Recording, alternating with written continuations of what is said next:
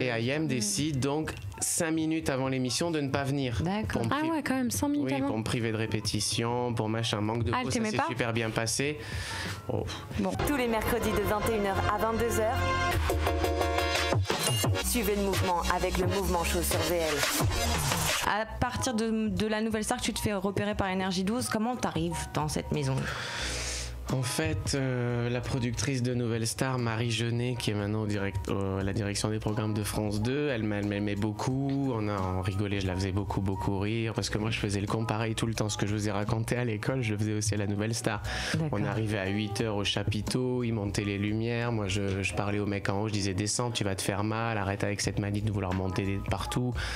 Le mec, il, comment il accordait le piano, je faisais Ah à côté de lui. Enfin, je faisais vraiment le con avec Kevin Enfin, avec toute la bande.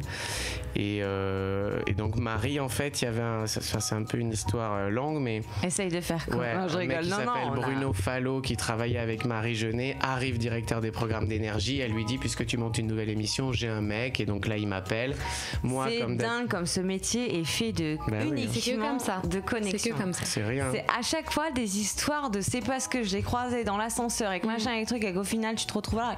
C'est fou. Et donc Bruno. Fallot, il, il me voit, moi je lui amène ça d'idées de concept, croyant qu'il va me filer une émission. Donc Ouais. il me dit tu vas faire les tweets, là tu vas te calmer. Puis le Daily Mag, puis le mag, puis l'animation, hein. puis voilà.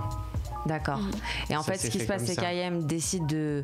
C'est ce que tu expliques un petit peu dans tes interviews, c'est qu'Ayem, d'un coup, a plein de soucis divers et variés, qu'il n'y a personne pour présenter l'antenne. C'était, euh, bah, toi, vas-y, go, c'est parti, Ouais, voilà. prends Ça s'est l'antenne. fait comme ça en fait. Non, en fait, euh, quand T'as il- romancé la chose. Non, non, non, mais quand ils m'ont rappelé, euh, parce qu'il y a eu une pause entre le Daily Mag et le Mag de novembre à février, Ouais. et en février, ils me rappellent pour me dire est-ce que tu veux être co- co-animateur? Puis en fait, c'était euh, chroniqueur principal, Mhm. c'est-à-dire là tous les jours et éventuellement le remplaçant d'Ayem. Sauf qu'Ayem à était enceinte. c'est ça? Non, j'étais Ah, à côté, mais j'étais le plus proche d'elle et j'étais à côté de, de Benoît. et de- Ok. Mais euh, c'est Benoît Du- Dubois, qu'on de- embrasse, ouais, qui est aussi dans le, le Cisère euh, Palace, hein, si je dis pas de Ouais. bêtises. que j'adore Benoît. Et euh, là, c'était vraiment le top. En plus, il n'y avait pas de responsabilité. On faisait l'émission, on rentrait, on s'achetait des chocolatines, enfin des pains au chocolat, je sais pas comment vous dites. On prenait un iced tea, on se mettait euh, sur un banc, pas loin d'énergie, rentrait, je rentrais, c'était vachement bien. Et ça, ça s'arrête. Et donc là, il m'appelle, il me dit Est-ce que tu veux être anima- co-animateur, enfin chroniqueur principal, du coup Mais Ayam était enceinte, donc c'était prévu qu'elle s'en aille, prévu que je prenne sa place. Ce qui s'est fait plus vite, c'est que Angela Lorente, qui était donc la, la patronne à ce moment-là des- d'énergie, vraiment, c'est un peu compliqué. Ouais.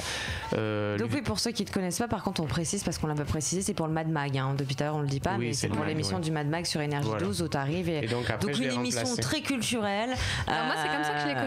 Enfin, c'est comme ça que t'ai Arte. Mais c'était vivement. la- le- les, les, les, les sept premiers mois où j'ai animé, il y avait les anges, euh, il y avait eu les vacances des anges, puis les anges Est-ce que tu peux neuf. expliquer pour les, pour les gens peut-être qui ne connaissent pas le Mad Mag en quoi ça consiste? Le Mad Max, c'était le débrief de, de- Des anges. des anges, en fait. de voilà. la télé-réalité.